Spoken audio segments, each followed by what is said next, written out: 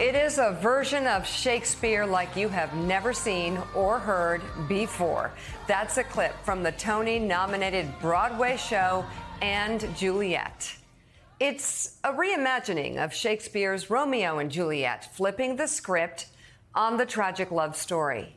The audience is treated to the story of what would have happened next if Juliet had not ended it all over Romeo and got a second chance at life and love on her terms.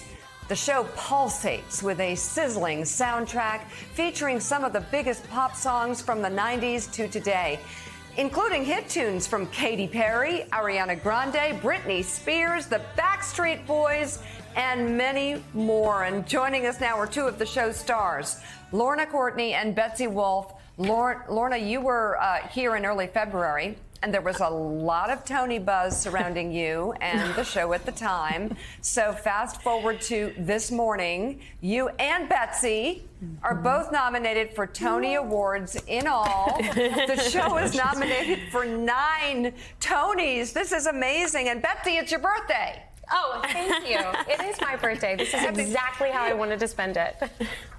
And for you, I give you a Tony. No, um, this you. is amazing. I, I, I, would. It just seems like su such a powerful. Uh, uh, uh, production. Is it? Um, tell us what each day is like, Betsy. I'll start with you since it's your birthday. Um, playing your characters and, and working on this production, is it exhausting? Is it exhilarating? How do you get the energy up time and time again? What's it like for you? Honestly, it, it is all the things you said. It's exhausting, it's exhilarating.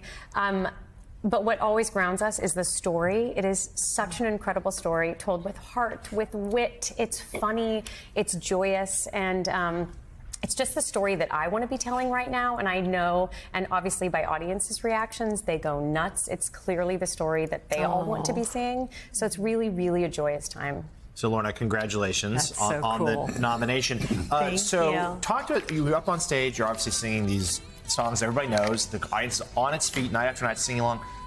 This sounds like a simple question, but how much fun is it to be up there? oh my gosh, it's so much fun. And even if we're like tired because, you know, it's Tony season, so we're doing a lot, you cannot not have fun in the show. Like, it's just like as Betsy was saying, it's so much fun. And even people that think that they don't know the songs, they actually know the songs because the songs are just everywhere. And you, you have a, a great time and you end up leaving changed and, and moved in some way because not only is it fun, but it's, it's a moving story. A story about second chances and love, multi generational love, love, friendships, relationships. So it's it's very relatable. So, Betsy, happy birthday, by the way. wow, uh, love, thank you. Listen, we saw, we saw the clip from the play, uh-huh. okay? Uh-huh. Romeo and Juliet. How does that happen out of Romeo and Juliet? And tell us, if you can, both of you, your instincts of how it happened and what happens in your story as opposed to Romeo and Juliet. So I think this is what is so hard to explain about this musical too, is they think, well, wait, you're taking these pop songs, the most famous pop songs, you know, William Shakespeare's most famous play, and yet somehow it all works. So we basically flip the script. Um, I play Anne Hathaway, who gets to come in, William Shakespeare's wife, who's just there at the theater that night um, and kind of surprises him and like, I'm just here, sweetheart, to like watch the show. And um, from there, she says, I think I have some thoughts.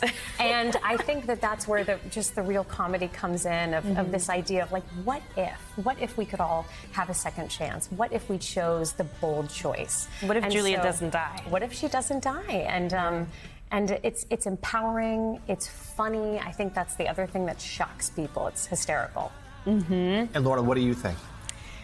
I think exactly that. I think it's it's empowering. It's uplifting. It's uplifting. It's from. It's very like female uh, in, empowered and, and and moving. And after the show i have so many like young girls just just looking up at me with bright eyes and and and their moms and and they're, they're, they're just so overwhelmed and, and overcome like with with joy and the spirit of the show. So i'm glad that we can make an impact in that way That is so wonderful. Uh, you guys just keep on enjoying it. And Juliet is playing now on Broadway at the Stephen Sondheim Theater. Lorna Courtney and Betsy Wolfe, congratulations to you both. Thank you both very you. much and best of luck. Let's get that Tony. All right, that does it. For, yes.